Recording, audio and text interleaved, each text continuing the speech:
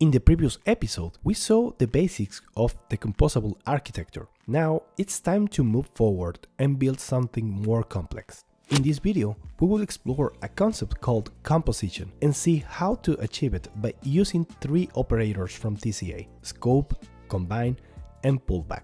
The counter we did last time is just one small part of the whole project to build an online store with TCA. The goal is to build an e-commerce app that receives a list of products from an API, make the user add items to a cart, and pay them once they are ready. Even though this app is quite small, it is way larger than the counter demo. It also got more actions now, closer to what will be an app in the real life.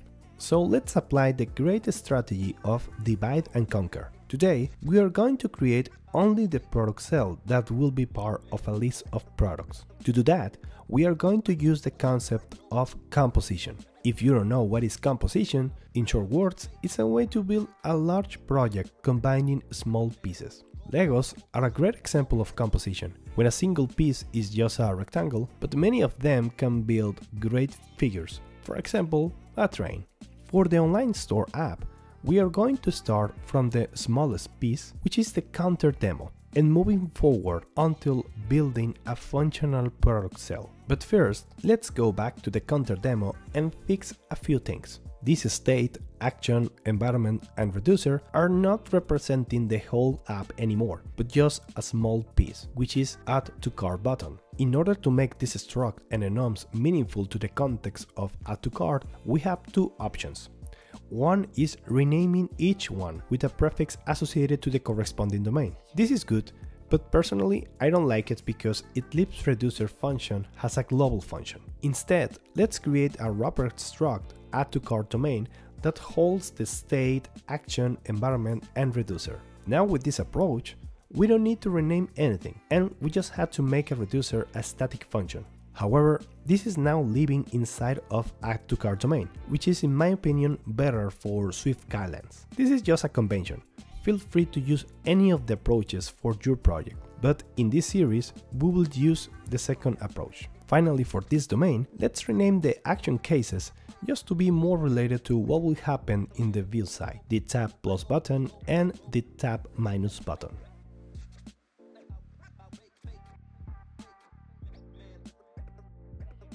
Now let's work on the view and create plus minus button. That will show the same UI from the previous episode.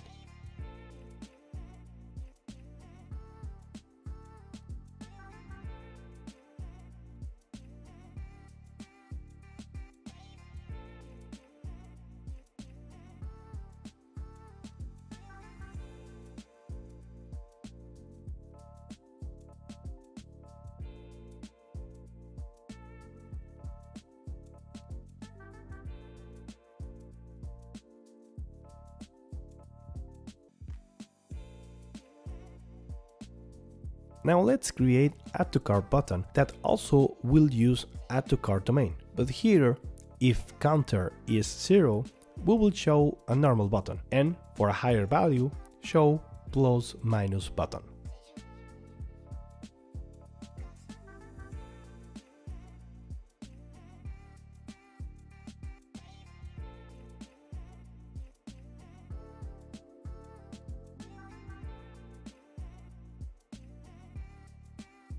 That's it for add to cart button. Let's move forward. Add to cart button is done. Now we need to build the product cell. And as we saw in the previous episode, this is a diagram that represents the flow of how TCA works. It turns out that all of this is being applied by add to cart domain.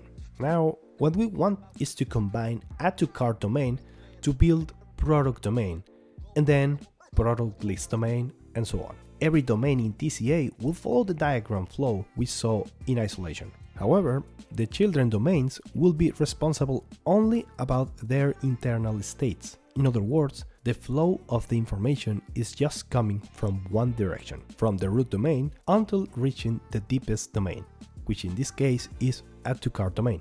This concept is called unidirectional flow, and TCA is a unidirectional flow architecture. With that said, Let's now work on the implementation of product domain.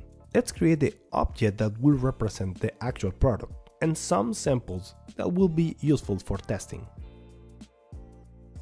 Now let's go to product domain and build the state.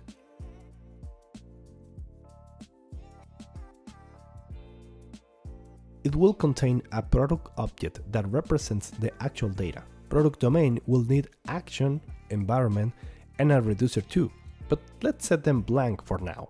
What will be the actions to add for product domain? Let's see the UI again.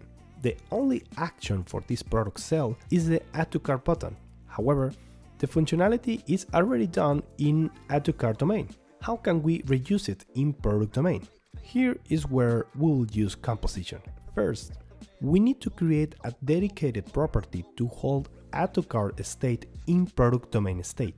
This is okay because add to cart is part of a product cell as a whole. Now, what will be the actions? Product domain doesn't need a brand new action, but reuse the actions from add to cart. We then need to represent all the set of actions in a single value. To do that, we can create a case add to cart and use an associated value to represent an action from our to cart domain. So now product domain can work with any add to cart action triggered. We don't need any dependency, so an empty environment is fine for now. Now let's jump to the reducer and create a switch with the actions from add to cart state.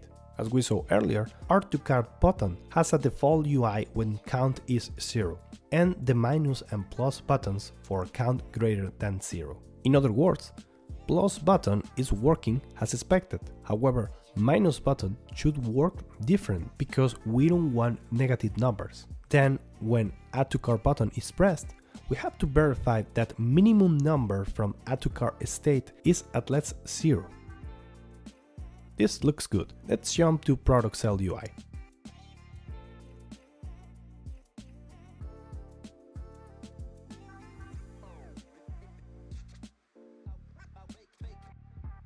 As we saw in the previous episode, first we have to set up store property with state and action from product domain and to use with ViewStore to build our view there. I'm not going to explain the UI in detail, but if you are new in SwiftUI, I will leave you a video for you in the description below.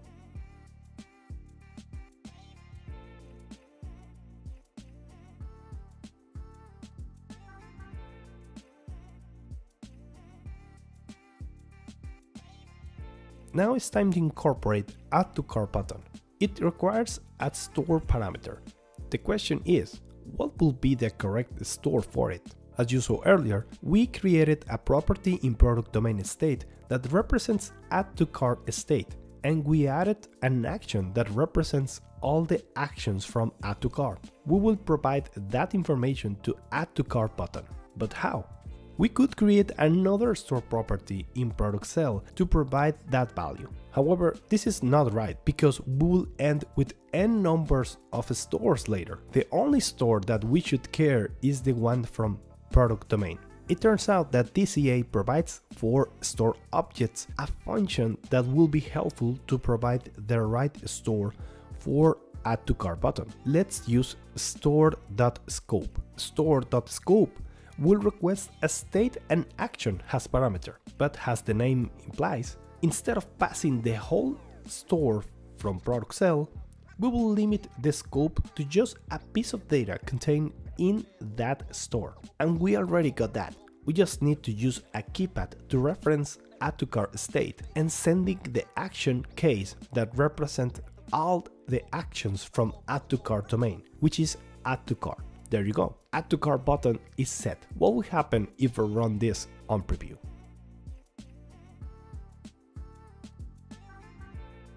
Nothing is executed. Is there any bug in our logic? Not really, but we are missing something important. Let's go back to product domain and look at the reducer. Everything is set for product reducer, but it won't do anything regardless. The reason is because we are expecting actions from other domains like add to cart domain. However, the logic between these two is not plugged in yet. In order to compose a feature from multiple domains, we have to combine all the reducers and transform them into a single larger reducer. In other words, each reducer is like a piece of Lego, and joining two or more Legos, we can build a larger Lego piece to do something else. Then that larger piece can become an even larger one if we combine them with other more complex reducers and so on. Now the question is, how to do that? Every TCA reducer comes with a built-in function called combine that, like the name suggests, will combine multiple reducers and create a single and more complex reducer. Now, what is the other reducer we need to combine? Of course, is add to cart domain.reducer. However, we cannot combine it directly. We need to transform it into something that product domain can manage. For that, TCA provides a function called pullback. In simple words, pullback will transform a child domain into one compatible with the parent domain. In this case, parent domain is product domain because it's holding add to cart state and add to cart actions. Same like we did for scope, let's use a keypath to reference add to cart state and a case path to reference what is the case holding the action and provide the environment from add to cart. You might wonder what is a case path? Case path is the equivalent of a keypath, but for enums. This is not native from Swift. It was built in by TCA creators and provided in the composable architecture library. I will leave you more information in the description if you want to know more. One more thing you need to know. All the children reducers must go before the parent reducer. This will guarantee that all the children reducers will mutate their state and leave the parent until the end to detect when a child action is executed. Okay, it's finally time to test again. Finally, this is working as expected. That will be it for now. In the next one, we will see how to integrate this domain in a list. Let me know if you have any questions in the comments down below. And remember, my name is Pitt and this, this is Swift Tips. Thanks for watching and have a great day.